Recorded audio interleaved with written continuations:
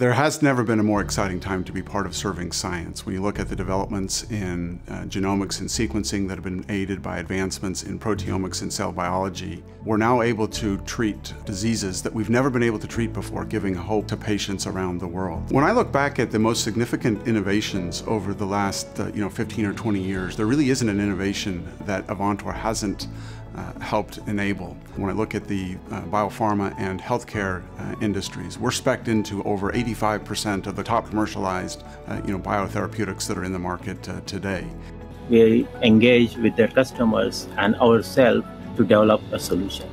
And after we develop that solution, then we work closely in the last step, our customers to implement that uh, solution. Now we're focusing on developing tools and products for bringing new molecules to market, such as products for mRNA, product for MAB, next generation MAB, and viral vector gene therapy products. All began almost about 120 years ago when J.T. Baker started his company uh, with the mission to help scientists.